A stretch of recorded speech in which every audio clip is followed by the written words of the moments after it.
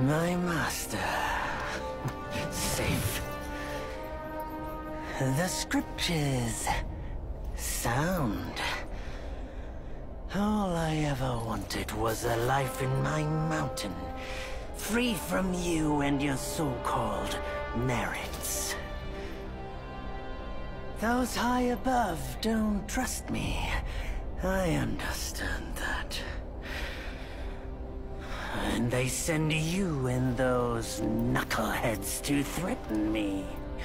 To obey and serve once more.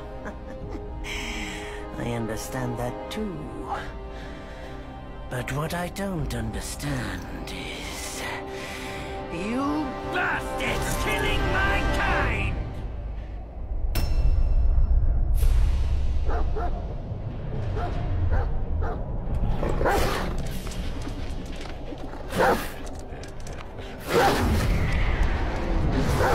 Come on.